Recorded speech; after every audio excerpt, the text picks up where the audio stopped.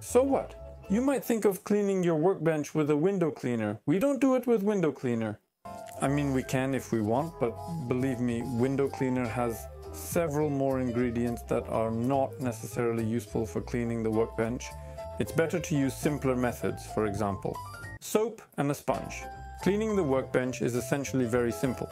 Just put it under running water, preferably warm, lather it well with regular bar soap, the cheapest kind, and possibly scrub it nicely with a sponge or hand in circular motions alternating in a grid pattern and then we'll be sure that the soap has washed away all the unwanted film.